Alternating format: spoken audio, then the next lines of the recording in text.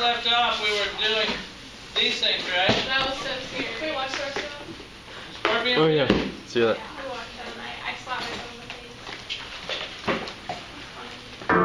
The scorpion fish is almost perfectly camouflaged against the colorful coralline rubble.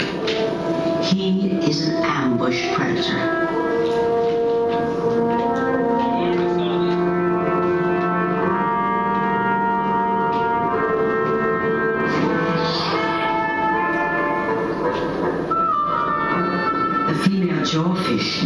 Escapes the gaping maw of the scorpion fish.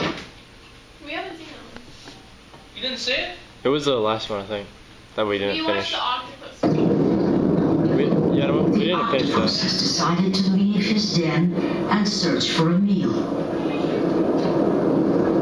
He's a master of camouflage, but his cryptic colors are not so effective when he's on the move.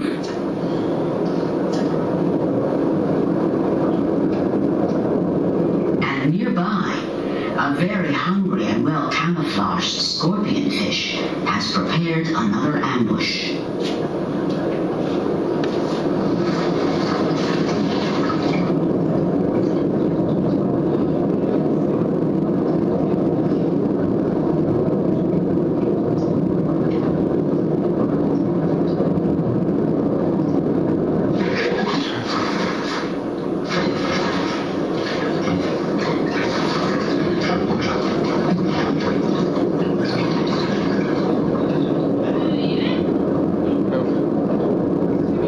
The octopus is lucky.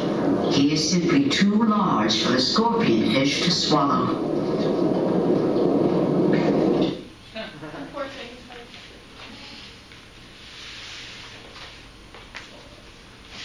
What is that? What is that inside the mouth? That's a big fish eating a little fish. Is that Now, another thing the book talks about, because of these community interactions,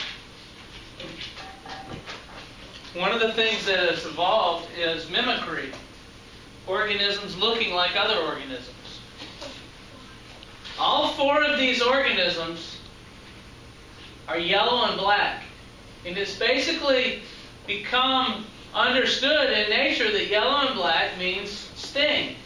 And you don't mess with a yellow jacket or a bumblebee because they'll sting you. Same with humans, right? Mm-hmm. You have like That's right. like on subway trains, you know, there's that red and yellow by the Yeah, it's, it's, a, it's a color that gets your attention. You with me, Jessica?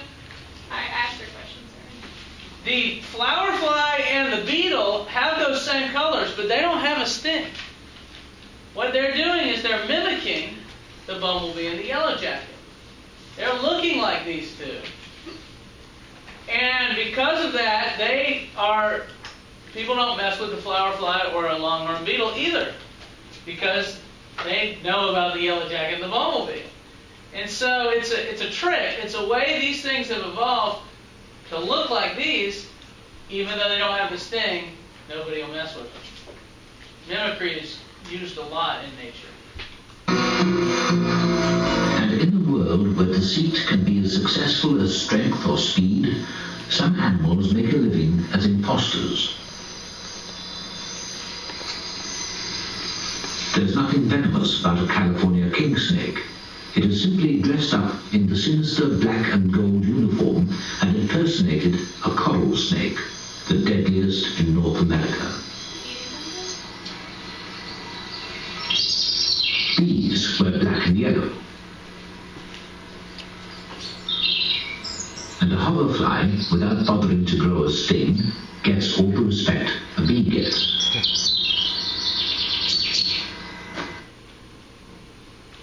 Interesting to note, that only works if your population is low.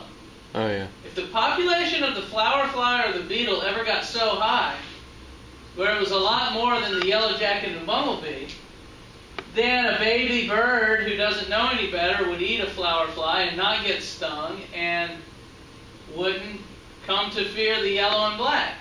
And so it only mimicry usually only works if you're a, a smaller population. What greater confidence is there than knowing food when you see it?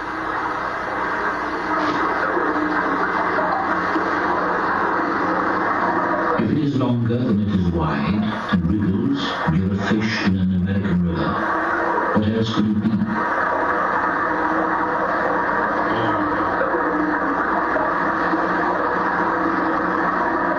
Except, perhaps, the tongue of a snapping turtle.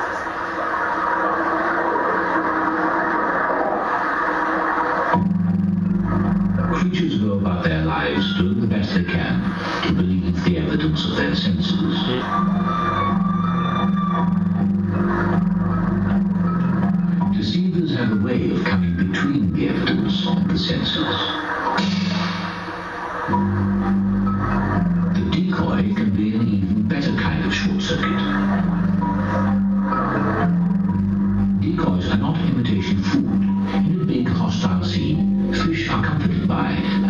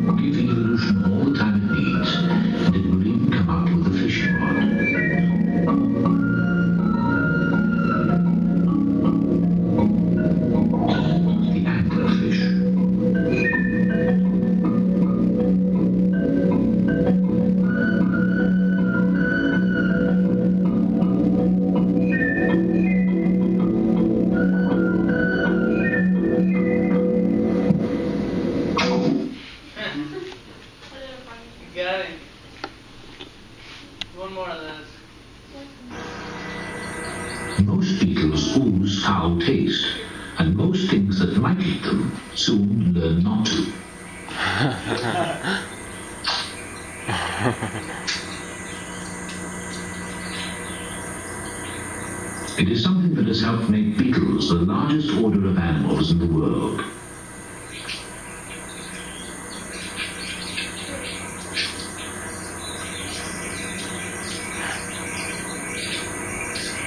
For an impostor, false gold isn't even necessary. Be as black as a beetle and walk like one, and you're safe. It's that beetle strut that keeps a juvenile sand lizard going until it is old enough to run faster than its predators.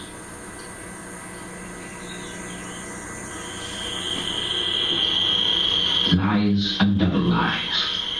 Nature builds layers of deception as complicated as international espionage. A perfectly harmless stick insect pretends to be a poisonous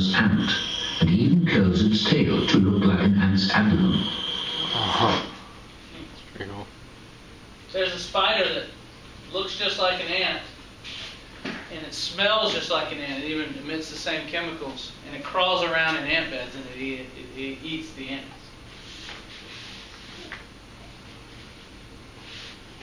Now, organisms have relationships with other organisms, and uh, the three relationships that we study are parasitism, commensalism, and mutualism. We use these words to discuss organisms that live right with something else, like right on top of something else, or, or even, in some cases, inside other creatures. Parasitism is a plus minus relationship. The parasite benefits, the host loses out. Like a tick. A tick is, is an example of parasitism. The tick sitting on your skin, it's sucking your blood. It's benefiting by getting your blood. You're losing blood, so it's a negative for you. You have to make more blood at, at your own expense. So parasitism is a plus minus relationship. Commensalism is a plus zero relationship. One organism benefits, the other organism isn't really helped or hurt either way. It's nothing really happening to it. An example might be um, uh, an organism, uh, Spanish moss. a, a bird living in a tr- in a hole in a tree. What about like, Tree's got the hole in it anyway. A fungus grew inside the tree and ate a ate a dead area of the tree out, and so there's a, just an opening in the tree, and a bird just lives in that hole, and it doesn't really help the tree any. It doesn't really hurt the tree any. Tree's not really doing anything, but it helps the bird. So that's a that's called commensalism. What were you gonna say? Oh, I was gonna say like puts fish to like stick to sharks. Great example. Great example. Yeah. The fish are kind of stick, sticking to the shark. The shark it doesn't really help the shark. It doesn't hurt it. It's not like really, it's real heavy or anything. Why- So that's a commensalistic. Real quick, why do they stick to the shark? They stick to the shark because sharks are kind of messy eaters. And Oh yeah. And so after the shark, shark's eating something, all this stuff's flying out, and they'll jump off and grab the little bits and pieces. And then nothing's going to mess with them Because because they're stuck to a shark. Yeah. That's pretty cool. And the shark knows they're there. Most, uh, yeah, it may, but it can't really do anything about it because it doesn't have arms or something to grab them off. And it's not hurting the shark, so it just, li- just leaves it alone. Mutualism is when there are two species and they're both benefiting. So what kind of relationship would we call that? Plus, plus. That's a plus plus. You have bacteria living in your intestine right now. And they're going along and they help you. They make vitamins for you. being B and K. Yeah. And what what do you do for them? Give them a place to live. You give them a little bit of food that you can't digest anyway. And you're both benefiting. So that's a plus plus relationship. Lots of relationships in nature, and they all fall under one of those three categories. You should watch Monster Society. All about this. Yeah, right. Parasites and. There's a parasitic heartworm. Have you ever heard of heartworms? Mm -hmm. Dogs get them. My first dog died of heartworms. Wow. Pixel. So those worms develop and they, they what, what, what is that one? Which one of these three? Plus Very, minus. uh, yeah, plus one. Which is called what? Parasitism. Parasitism. So what, what does that do, basically? Kills the. I mean, They, Some- they eat some- the blood of the of the dog. And doesn't it get to where so many start growing in there, just like bursts? I think so. Yeah. So what does the immune system do about that? Well, it tries to kill them, but often the the infection overwhelms the dog, especially if the dog gets sick or something from something else.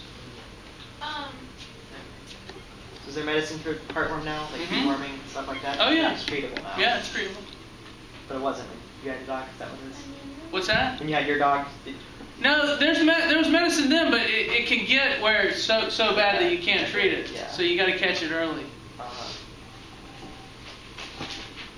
Then this is a uh, relationship: the clownfish and the sea anemone. Remember that? mutualism. Is that mutual? What is that? No, that's Uh, that's commensalism. commensalism. Or mutualistic. The book shows an example of, of commensalism, but I guess you could think of it as mutualism as the, the clownfish is benefiting getting a place to live and getting protection. But if something comes after the clownfish and gets stuck in the sea anemone, and then the anemone eats that, then it would be benefiting, wouldn't it? So sometimes that happens. So you What's could probably think of it as either one of those. Wait, why doesn't it eat the clownfish? The clownfish is immune to its sting, do we know so why? it can't kill it. Or do we know how it is, or it's just? In Finding Nemo. Uh, it's got some uh, a layer of a tough layer of skin or something that protects it. I'm not really sure. That's a good question. Did it evolve to do that, or just Yeah, it evolved that. like specifically for that purpose, or is just something else? no, probably for that Alright. purpose. Yeah. I mean, the ones that had thicker skin and didn't get stung could live there and not get Yeah. eaten. And they eventually all got to do that way. Here's a little symbiosis video. Symbiotic relationships include mutualism, commensalism, and parasitism. Mutualism exists between these birds and giraffes. The birds eat the parasitic insects on the giraffe's body. The giraffe is relieved of annoying pests.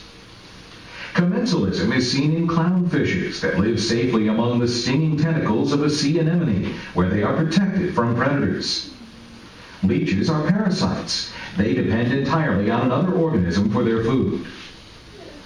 Gross. What example of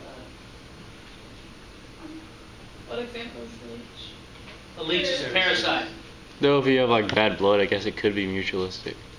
But it's not the best way to do Doctors it. use leeches every once in a Yeah, while. if, if you were using a doctor's leech, but Yeah. we're usually talking about it in nature here. Mutualism can take many forms, such as when birds like Clark's nutcrackers feed on but also dispense the seeds of whitebark pine trees. So it's helping them by spreading the seeds. This is pretty cool. This is the acacia tree. Have you ever heard of that? The acacia trees live in um, uh, Africa and kind of in um, in the savannas, and they have ants living with them that help them. That's what this video is about.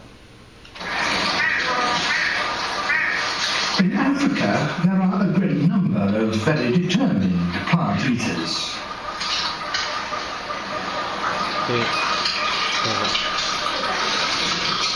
Acacias protect themselves with spines, but they're by no means a total defense. Some animals, it's true, are put off by them, but others, like the giraffe, seem able to ignore them.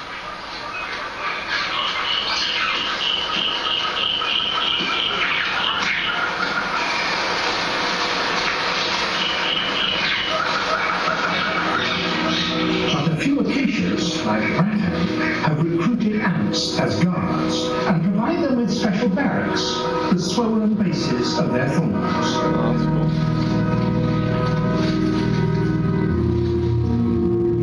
Nibble from the giraffe is enough to bring out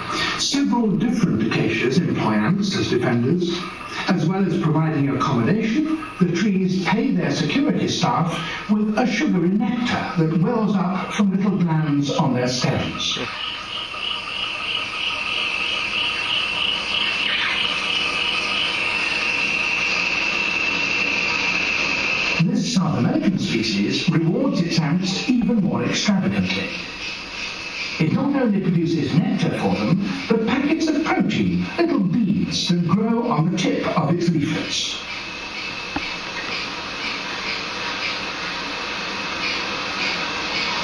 But these are not for the adults. They're special baby food, which the workers take back to their larvae. Good morning.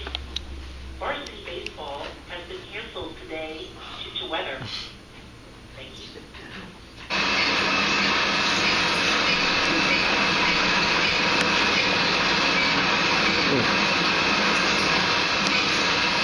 These infants are housed in the swollen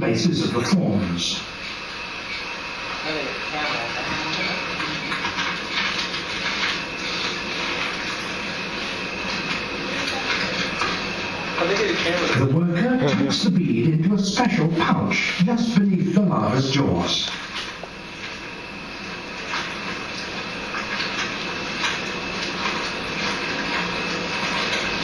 Whenever the youngster wants a meal, it just bends its head down and takes a nibble.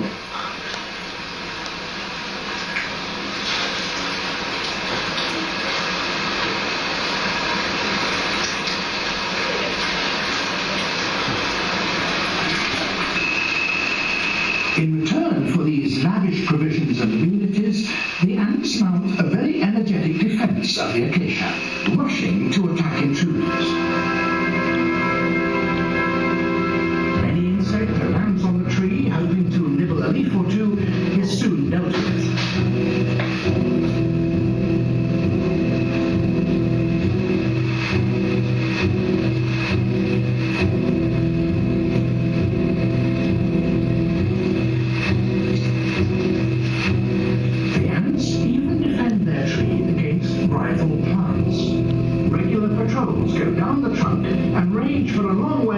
surrounding earth. Hmm.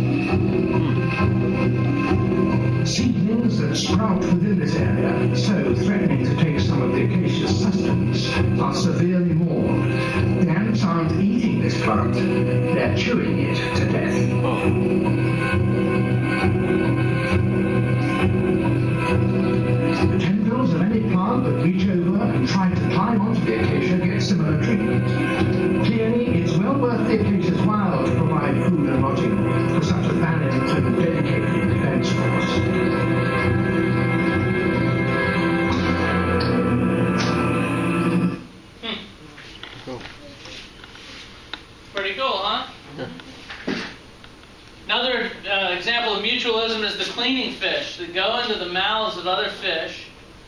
And clean the mouths of bacteria that would cause infections in the mouth of the fish. I mean, this fish has a good meal right there, could swallow it, but if it did that, it would get mouth infections. So it knows not to swallow that particular type of fish.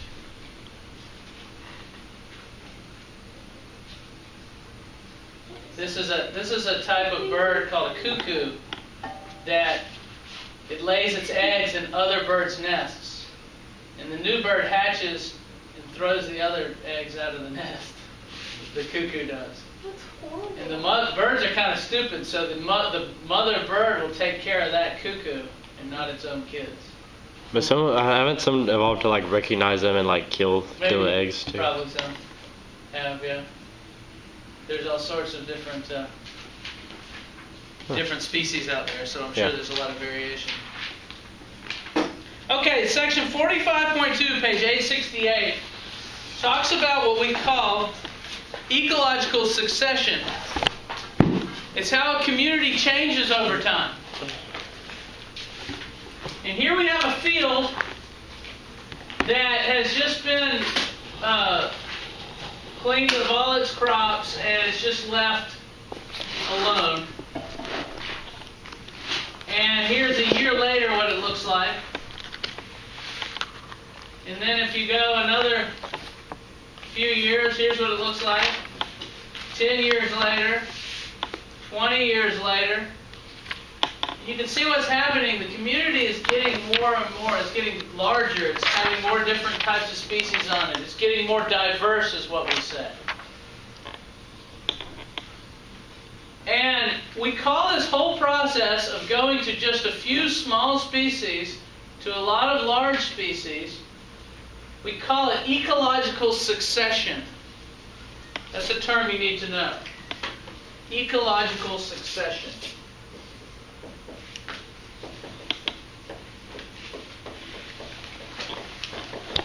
And what we say is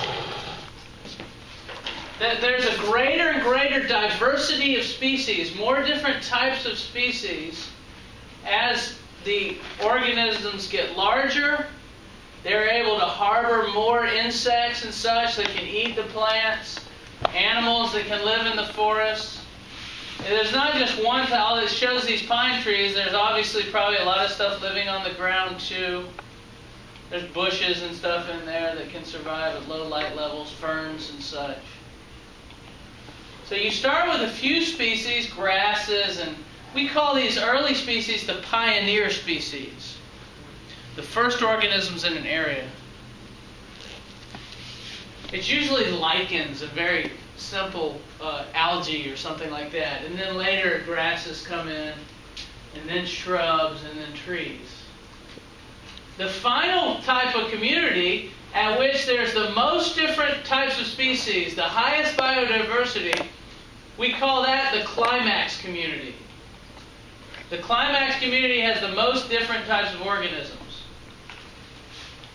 So you start with the pioneer species and you end with the climax community.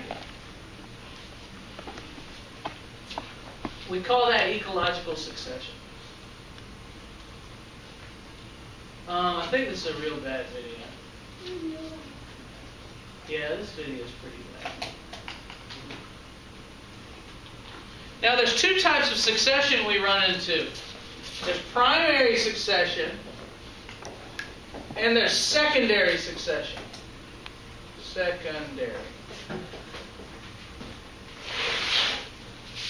Primary succession is growth of a community when there's nothing to start with. No soil, no other plants, no nothing.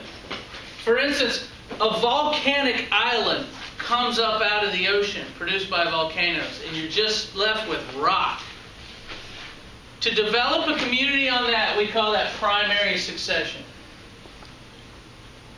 Or let's say they build a, a big mall, a big strip mall, and it all goes broke, like the one up in Darien is doing, and you're just left with concrete. And you just leave that there. How long would it take for a forest to develop over that concrete? That's primary succession. It's usually on the order of hundreds of years. Now, secondary succession is when you have, like, you already have soil, like a fire comes through, or like they've been growing crops, and you already have the dirt there. And then you still have to go through this process, but it goes a lot faster, you see, if you already have the soil. So primary succession is no soil, secondary succession is already soil. Secondary is a lot faster. This might take 100 years, whereas this might take 500 years.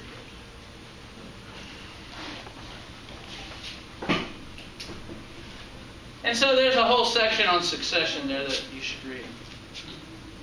It's only two pages, page 868 and 869. Now, finally, 870. 870 talks about how energy flows through a community. And in a community, you basically have four different classifications of organisms. First, you have your producers. The producers do photosynthesis and make food from scratch. We're talking about the algae and the plants and even the cyanobacteria that can make their own food. Those are the producers. Hopefully, you've heard these words before. The herbivores are the organisms that eat the producers. So here, a caterpillar is eating a, a leaf, and a bunny there is eating a little flower. Those are herbivores because they eat the producers. Then you have the carnivores, they eat the herbivores. All carnivores are eating other animals and such. And then all three of these levels, when they die, they're decomposed. Their bodies are decomposed, and the molecules in their bodies are returned to the soil, and the energy in their bodies goes to the bodies of the decomposers and helps them survive. Decomposers are mostly uh, bacteria and fungi. That they do most of the decomposition. So always, every level ends up being consumed by a decomposer. And these are the different levels of what we call the food chain. You ever heard of a food chain before? Mm-hmm. Are you with me over there, Elena? Yes. Energy comes in from the sun, usually. It's picked up by the producers. The energy's taken in and used to make food. Used to bond together those carbon dioxide molecules and bond them together to form a ring of carbons. Do y'all remember what we call a simple carbon ring? We have a name for it. Saccharide. Monosaccharide. Monosaccharide. Like, can you give me an example?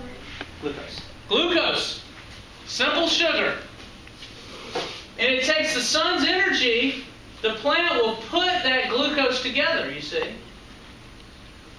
And there those the producers, and then during the lives of, of the organism, some of the energy is used and lost, usually is heat. Feel your feel your face right now. Is it warm? Ah, there's heat coming off of you right now. That heat was originally energy from the sun. And you ate the plants, you see. You ate the producers, or you ate animals that ate the plants. You're a consumer, so you ate the producers. Or you ate other animals that ate the producers, and anyway, you're getting the energy. It's going into you. Some of it comes off of you as heat. The rest of it goes to the next level. Now, if you got eaten by a lion or something, it would go into the lion's body. But you probably won't get eaten by a lion. So what's going to end up eating you? Decomposers. Very nice, KM. The decomposers end up eating everything. Well, understanding.